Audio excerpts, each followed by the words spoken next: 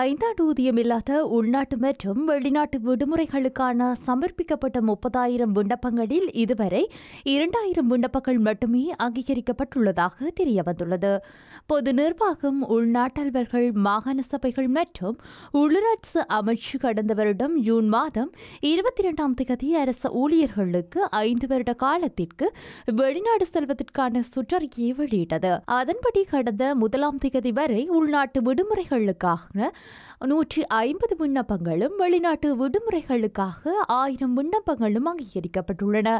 கடந்த ஆறு மாதங்களில் சமர்ப்பிக்கப்பட்ட விண்ணப்பங்களுக்கு மாத்திரம் அனுமதி கிடைத்துள்ளதாகவும் தற்போதைய பொருளாதார நெருக்கடியுடன் எதிர்காலத்தில் இந்த தொகையை அதிகரிக்கலாம் எனவும் பொது நிர்வாக உள்நாட்டல்வர்கள் மாகாண சபைகள் மற்றும் உள்ளூராட்சி அமைச்சின் உயர் அதிகாரி ஒருவர் தெரிவித்துள்ளார்.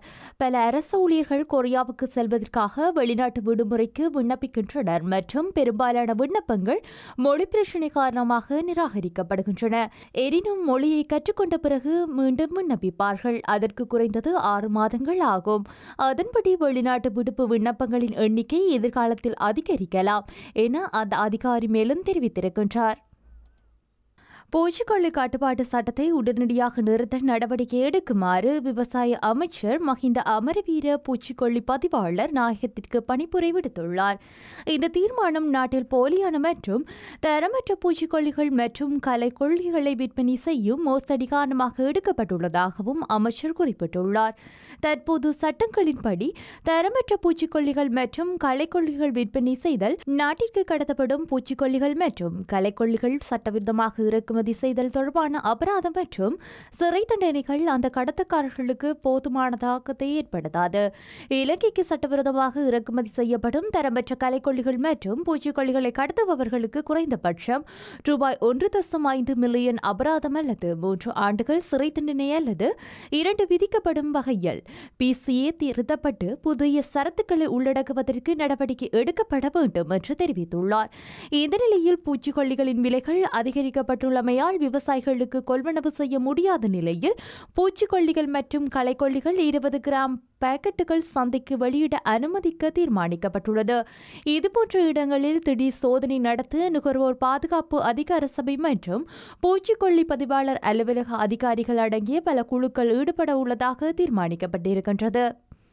உள்ளூராட்சி சபை தேர்தல் எதிர்வரும் இருபத்தைந்தாம் தேதி நடைபெறாது என தெரிவிக்கப்பட்டுள்ளது. இந்த விடயத்தை மாகாண சபைகள் மற்றும் உள்ளூராட்சி ராஜாங்க அமைச்சர் எனக வக்கும்புர தெரிவித்துள்ளார். பிரதமருக்கும் தேர்தல் ஆணைக்குழுவிற்கும் இடையிலான விசேட சந்திப்பின் பின்னர் ஊடகங்களுக்கு கருத்து தெரிவிக்கும் போதே ராஜாங்க அமைச்சர் மேற்கண்டவாறு கூறியுள்ளார். தைவான் விவகாரத்தில் சீனா அமெரிக்கா ஆகிய இரு நாடுகளின் எந்த கொள்கையையும் பின்பற்றாமல் ஐரோப்பா தங்களுக்கான தனி கொள்கையில் நிற்கும் என பிரான்ஸ் அதிபர் இமானுவேல் மேக்ரோன் தெரிவித்துள்ளார்.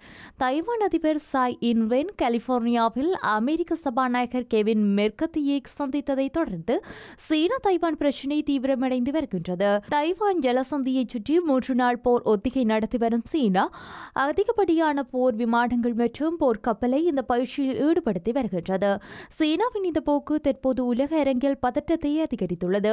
இந்த நிலையில் அதிகரித்து வரும் தைவான் பிரச்சினையில் ஐரோப்பா தங்களுக்கான தனி கொள்கையில் நிற்கும் என்று இதில் சீனா அமெரிக்கா ஆகிய இந்த நாடுகளின் உத்தியையும் ஐரோப்பாவின் தொடராது என பிரான்ஸ் அதிபர் மைக்ரோன் தெரிவித்துள்ளார். இரு நாடுகளுக்கு இடையிலான பொருளாதாரம் உக்ரைன் ரஷ்யா விவகாரம் தைவான் பதட்டம் ஆகியவற்றை குறித்து மூன்று நாள் சுற்றுப்பயணமாக பிரான்ஸ் அதிபர் இமானுவேல் மைக்ரோன் சீனா சென்றிருந்த நிலையில் இந்த கருத்தை தெரிவித்துள்ளார். இது தொடர்பாக பிரான்ஸ் ஊடகத்திற்கு கருத்து தெரிவித்த மைக்ரோன் தைவான் பிரச்சினையை மோசமாக்கி விடாமல் ஐரோப்பா அதன் நிலைப்பாட்டை கொண்டிருக்க வேண்டும். அதே நேரம் தேவையற்ற பிரச்சினைகளில் சிக்கிக் கொள்வதை தவிர்க்க வேண்டும் என தெரிவித்திருக்கின்றார்.